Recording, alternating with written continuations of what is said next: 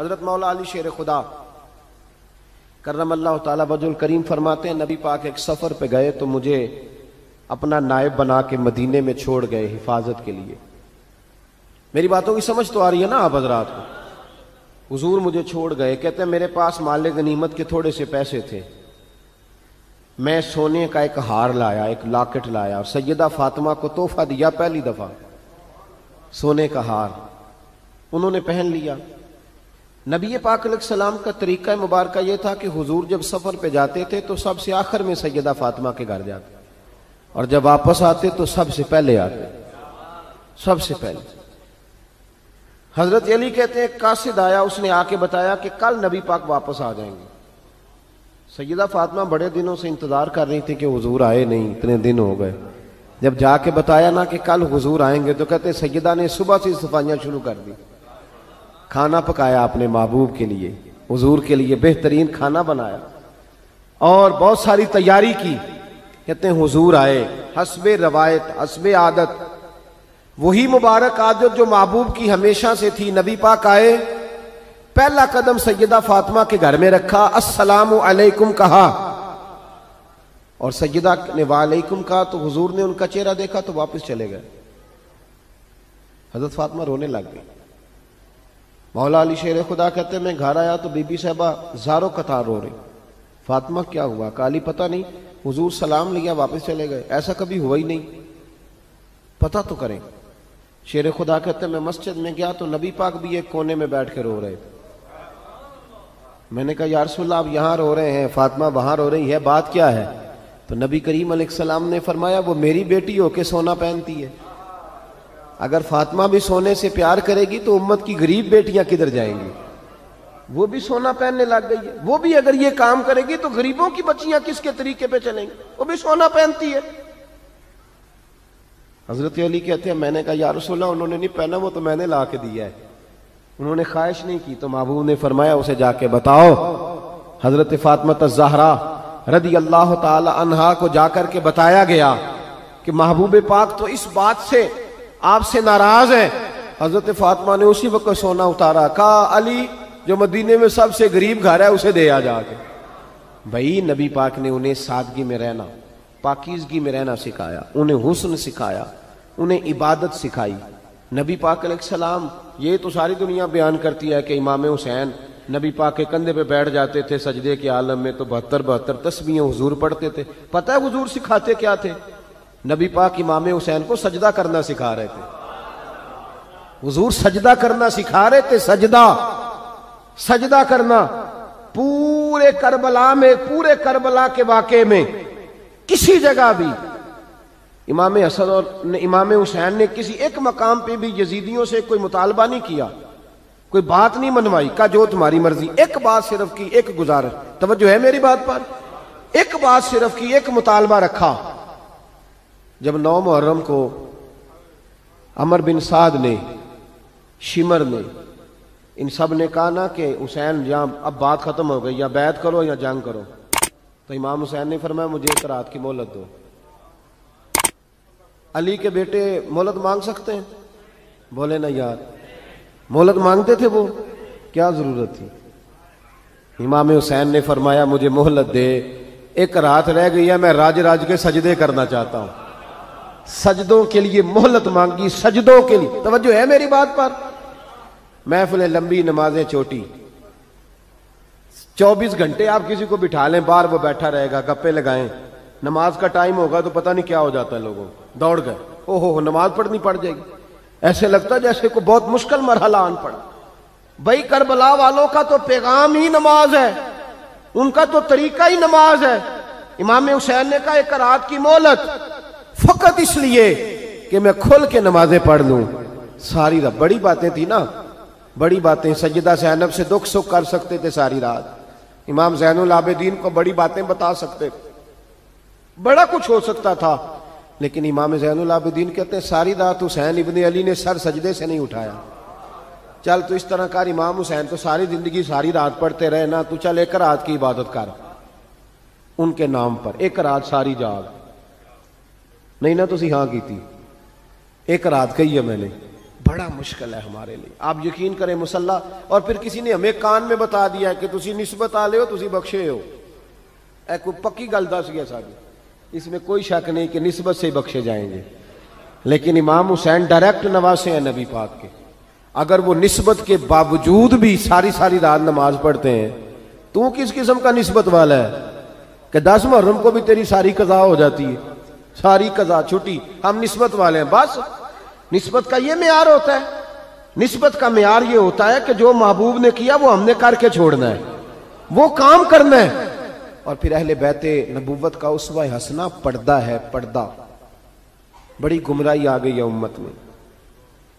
अब जो आज, जो बच्ची M A M B A कर लेती है, वो सबसे पहले ये मुतालबा करती है कि हमारे हकूक बराबर के।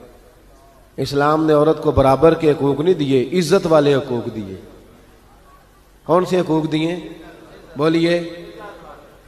मैं एक यूनिवर्सिटी में था तो एक बच्ची ने पैगाम दिया, कहने लगी, जी, बच्चियाँ भी थी, पर्दे में बैठी हुई लेक्चर यूनिवर्सिटी में हो रहा था। तो उसने कहा, जी, औरत का तो ही कोई नहीं होता। औरत का तो ही कोई नहीं। तो हम किधर जाएँ? मैंने कहा, चलें, अदीबाना अंदाज में ये बात दुरुस्त है, लेकिन हकीमाना अंदाज में दुरुस्त नहीं। औरत की तो अल्लाह ताला ने ज़िम्मेदारी बड़ी शानदार रखी है। जब तक बाप जवान होता है ना, तवज्जो है मेरी बात पर? जब तक बाप जवान होता है तो बेटी उसके घर रहती है। और जब बच्ची जवान होती है, अब्बा थोड़ा बूढ़े होने लगता है ना तो अल्लाह ताला खामद की ड्यूटी लगा देता है औरत पर। और जब खामद थोड़ा बूढ़ा होने लग जाता है तो बच्चे जवान हो जाते हैं। तो मैंने कहा, बीबी, तू समझी नहीं, तू कहती है मेरा घर कोई नहीं। रब करीम ने तो तेरा मुहाफज हमेशा जवान आदमी को रखा है। जवान को, कभी बाप को, कभी भाई को, कभी बेटे को, कभी शोहर को। तू ये कैसे, इस्लाम ने तो तेरे लिए जवान खून तेरा मुहाफिज रखा, अगर तू समझे हज़रत फातिमा ने सारी ज़िंदगी पर्दे में गुजारी। उनका नंगा सर कभी सूरज ने भी नहीं देखा। यहाँ अल्लाह खैर करे, दीनदारों की बच्चियाँ पर्दा नहीं करती, हाजियों, नमाजियों की बच्चियाँ पर्दा नहीं करती। कपड़े स्त्री ना हो तो घर में झगड़ा शुरू होता है, और बीबी पर्दा ना करे तो परवाही कोई नहीं। हज़रत अब्दुल्ला बिन सहल, एक ताबी बुज़ुर्ग है, नाम याद रखना। अब्दुल्ला बिन सहल कहते हैं, सैयदा जैनब, जब करबला से वापस आई तो वो मेरी पड़ोसन थी। पंद्रह साल कहते मैं उनका पड़ोसी रहा हूँ, पंद्रह साल। पंद्रह, इमाम शोरानी ने इसको लिखा है। पंद्रह साल में हज़रत जैनब का पड़ोसी रहा। कभी होता है ना कि बीबी बुरका पहन के बाहर निकल आती है, बाज़ार जाना है, दवाई लेनी है, कोई काम है। कहते हैं, पंद्रह साल में पड़ोसी रहा, पर मैंने पर्दों में छुपी हुई जैनब भी कभी नहीं देखी। को तो ना, बुरके में बंदा बीबी देख लेता मैंने पर्दे में छुपी हुई भी बीबी कभी नहीं देखी। तो करबला वालों का तो तरीका पर्दा है। उनका तरीका, अब आखिरी बात सुने। करबला वालों का तरीका हौसला है, हिम्मत है। हमारे यहाँ ना खुदकुशियाँ आम, झगड़ा आम, लड़ाई आम, उसकी वजह यह कि हौसला कोई नहीं। जरा सी बात कोई बंदा बर्दाश्त करने को तैयार अहले बैत का जो तरीका है ना, वो हौसला है। वो सबर है। वो चले, मोहब्बत की बात है, कर देता हूँ। एक बाबा जी से मैंने पूछा, मैंने कहा, जनाब, सेहत कैसी है? कहने, दुखा नहीं, वडेरिया कर चढ़िया मैं क्या कि उम्र थोड़ी कहता मैं उम्र तो एवं छिहत्तर को साल है। तो मैं क्या दुखा तो बगैर भी हूँ तुसा वडेरिया ही होना सी। बस कर दे, दुखों को बदनाम किया हुआ बिला वजह। अब बस करें, वडेरे होना था कि नहीं होना था? तो ना दुखा का ला देता है। हजूम गम में भी तोहीन ने जब्त गम न हुई। हम तो इस एहतियात से रोए कि आँख नम ना हुई। अल्लाह वाले तो मतलब शिकवा करना, हर वक्त शिकवा, हौसला ही कोई नहीं, सुकून ही कोई नहीं, परेशानी बड़ी है जी, आजमाइश बड़ी है। कभी आपने कहीं सुना है कि वाक़ करबला के बाद हज़रत जैनब माजल्ला नफसियाती मरीज़ हो गई थी? इमाम आबिदीन सैदा सकीना, हज़रत सुगरा, वो हौसले में रहे, मुतवाना रहे। इमाम जैनुल आबिदीन ने उसके बाद भी कई दफ़ा पैरों में बेड़ियाँ पहनी। कई दफ़ा, सादात का खानदान चला ये जो दाता अली अजवेरी ने आके आपको कलमा पढ़ाया, ये भी सैयदादे सैयदों का काफिला रुका नहीं, ये ख्वाजा अजमेरी भी सैयदादे गौसे पाक जेलानी भी सैयदादे ये सादात का सिलसिला चलता रहा। बार बार आके उम्मत की क्यादत की इन लोगों ने। जब देखे ना, यहाँ किसी बंदे का कटा हुआ हाथ फेंका जाए ना, बल्कि उंगली फेंक दी जाए तो लोग डर के भाग जाएँगे। किसी का, अपने किसी का नहीं, किसी का। क्योंकि इंसान का वजूद कट जाए तो दहशत पैदा होती। आप डर के भाग जाएँगे। इमाम हुसैन का कटा हुआ सर। तवज्जो है मेरी बात पर? जरा गौर करना, बंदे का सर कट जाए। हम सुनते हैं बात पर गौर नहीं करते। धाड़ उनका पड़ा था करबला में। कटा हुआ सर। जुल्फे, पगड़ी। कटा हुआ सर नेजे पे। आगे आगे सर जा रहा है, पीछे सैयदा जैनब जा रही बा पर्दा यजीद के दरबार में पहुँची। बीबी साहबा पर्दे में बैठ गई। यजीद कहने लगा, देख लो, अल्लाह ने मुझे इज़्ज़त दी और मेरे दुश्मनों का माज अल्लाह क्या हाल हुआ। जब उसने ये कहा ना तो हज़रत नौमान बिन बशीर सियाबी बैठे थे और साथ कहते हैं, मेरे एक नाबीना सियाबी भी बैठे थे। हज़रत नौमान बिन बशीर कहते हैं कि जब उसने ये कहा ना कि अल्लाह ने मुझे इज़्ज़त दी और नकले कुफर कुफर न बाशद मेरे दुश्मनों का ये हाल हुआ तो कहते हैं, सैयदा जैनब वहाँ से उठ के खड़ी हो गई। बा पर्दा। सैयदा जैनब खड़ी हुई। और फरमाते हैं, इस तरह नहीं खड़ी हुई कि बीबियाँ रोती हैं तो कहती हैं, हाय ये हो। इस तरह नहीं, हौसला, हिम्मत। और जिस तरह कोई सियाना खतीब खुतबा पढ़ता इस तरह सैयदा ने खुतबा पढ़ा। पहले अल्लाह की हमद की, फिर नबी पाक पे दरूद पढ़ा। और फिर कुरान पाक की आयत पढ़ी व तो इज्जुमन तशाओ व तो जिल्लुमन तशाओ। ये आयत पढ़ी। कहते सैयदा की आवाज़ में वो रोब था। वो गर्ज थी, वो वकार था, वो इतमान था कि वो नाबीना से अभी मेरा घुटना हिला के कहने लगे, नौमान, अली आ गए हैं दरबार में। अली आ गए हैं। जिबरील अमी बोल रहे हों जैसे, हिकमत के गोहर रोल रहे हों जैसे। दरबार दमिश्क में बीबी जैनब का खिताब मिंबर पे अली बोल रहे हों जैसे। का ये तो हज़रत अली की आवाज़, अली आ गए क्या? अली आ गए।